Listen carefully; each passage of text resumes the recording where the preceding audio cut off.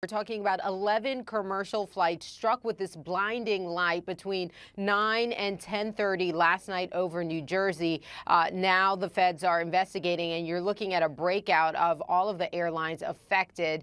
Uh, three American Airlines, two uh, JetBlue flights, one Delta, one United. Uh, the list goes on there. We do know that all of the flights were flying at an altitude below 10,000 feet, so that means uh, they were either in the takeoff or landing uh, portion of the flight. And of course, that, as we have said many times before, the most critical point of flight. That is when the pilot is very focused, talking to air traffic control, focus on his controls or her controls in the cockpit. Uh, so that is not the time that you want any unexpected blinding distractions. And that's exactly what the FAA is saying happened uh, last night, Carol. Um, so there were five planes and all diverted. Is that unusual to have so many diverted at one time? Well, I mean, uh, you know, air traffic control identified that there was a problem there, and uh, you know, 11 in one evening, that's a lot.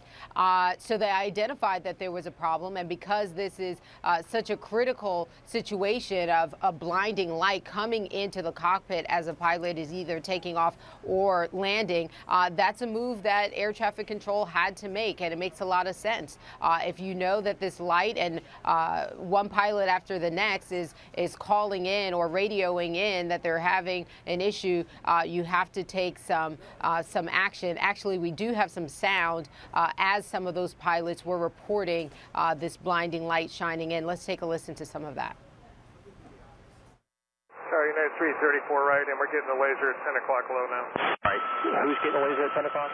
United 330. All right, laser event 10 o'clock low, runway 4 right. Pan American 1976 checking in with you, and we just got the laser also uh, here at 3000. All right, so that was just two of the 11 commercial flights who, again, uh, reporting to the FAA that they had this uh, blinding light shining into the cockpit. Very troubling. We've seen in the past, uh, they, although it's difficult, they have uh, been able to find individuals responsible for this. And when they do find these individuals, they do face some very serious charges.